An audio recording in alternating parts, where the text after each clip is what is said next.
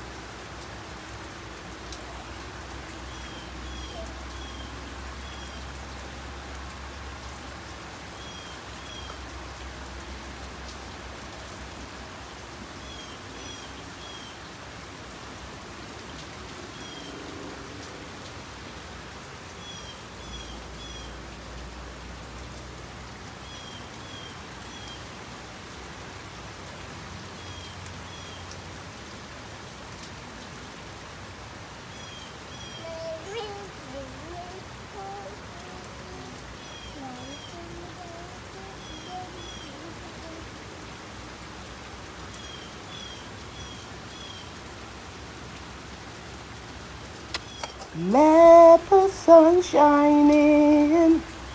Let the sun shine in. The sun shine in.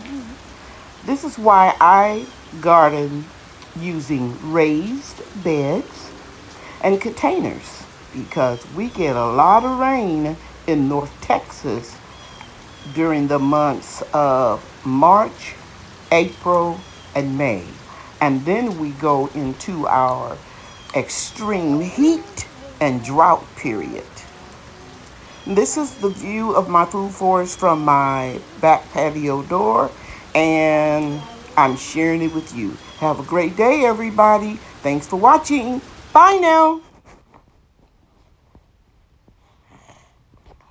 You're supposed to say bye now. Bye now.